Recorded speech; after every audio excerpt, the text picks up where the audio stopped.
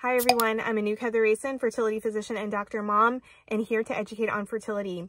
This week I actually had a different video planned, but with the release of the COVID vaccine, um, many questions on its use in pregnancy and lactating women, and our society is coming out this week with recommendations on the COVID vaccine.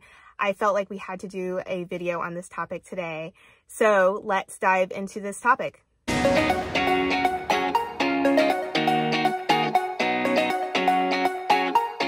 Some people, the decision to get the vaccine might be an easy one, but because there was no testing done in pregnant and lactating women, the decision can be a little bit more difficult in this patient population. This is really an individualized decision between you and your healthcare provider, but I'm going to go over some of the benefits of giving the vaccine, some of the risks, what our societies are recommending, and how the vaccine works in hopes that this will help you with making the decision also.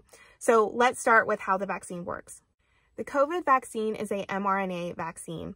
So how this works is mRNA is a gene sequence. This will go into our cells and it will be translated by our cells into a protein called the spike protein, which resembles COVID. It will be released from our cells and then recognized by our immune system as a foreign body. Our immune system will then produce antibodies against it. So it's normal with an immune reaction to have certain side effects like fever, muscle aches, these type of things.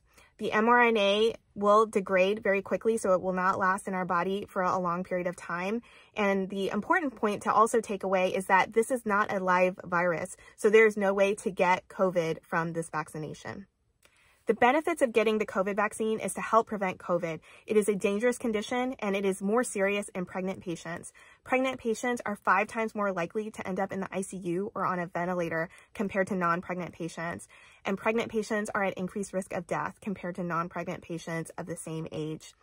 The vaccine is about 95% effective in preventing getting the infection. And as the rate is increasing in the community, our risk of getting it is increasing also getting the vaccination will not only protect you, but it will also protect those around you.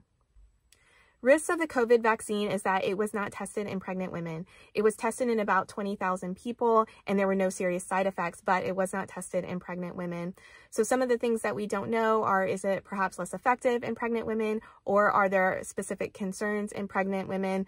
We just don't have data on some of these things. Normal side effects to experience after the vaccination are muscle aches, fatigue, uh, injection site soreness, headaches, and fever. About 1% of people experienced a high fever over 102. We do worry about fever in early pregnancy for risk of congenital defects or miscarriage, but I think with the vaccination, the chance of having a persistent high fever is overall low, so I think the chances of these type of risks are also low. The FDA issued an emergency use authorization for the use of the COVID vaccine in anyone over the age of 16 due to the serious nature of COVID, but there were no specific recommendations in pregnant women. And this was because it wasn't tested in pregnant women. So this is more the nature of being new and untested in this patient population, not necessarily a specific concern in this patient population. Our societies came out this week, December of 2020, with recommendations, and they are all in agreement. So the Society of Maternal Fetal Medicine, the American College of OBGYN, and the American Society of Reproductive Medicine all agree the vaccine should not be withheld from pregnant and lactating women. And if you're unsure, to have a discussion with your healthcare provider. The decision to get the vaccine or not get the vaccine is an individual decision between you and your healthcare provider, and we are going to support it no matter what.